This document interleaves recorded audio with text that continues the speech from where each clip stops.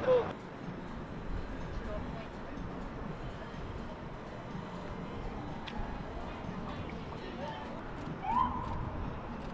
Perfect. Thank you. Awesome. You. So we're gonna take it to two more points. One is on. Details are okay. Push the banner down.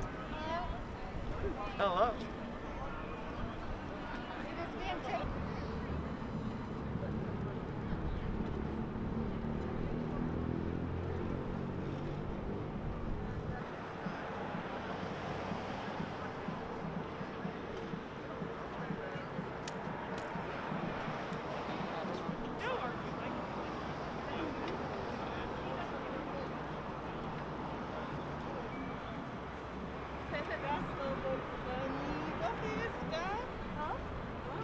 Um, scientists are telling us that the next seven years are critical for the fate of the Earth and of humanity.